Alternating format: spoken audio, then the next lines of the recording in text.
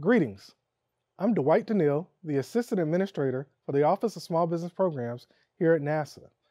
And I want to welcome you and inform you on the relaunch of our new NASA Mentor Protege program. My focus areas for the NASA Office of Small Business Programs are people, processes, policies, programs, and procurements. The relaunch of our NASA Mentor Protege program aligns towards those focus areas and to our NASA 2040 vision. Under our new relaunch of the NASA Mentor Protege program, we have a core focus to close supply chain gaps and align those supply chain needs with the agency's mission for both today's times and future times.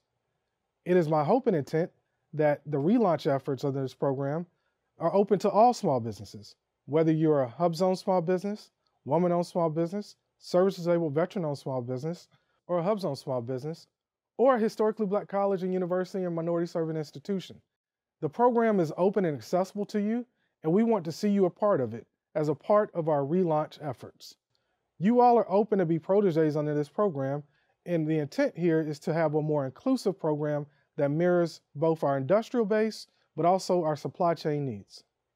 We look forward to your participation in our program and our relaunch efforts next month. Thank you.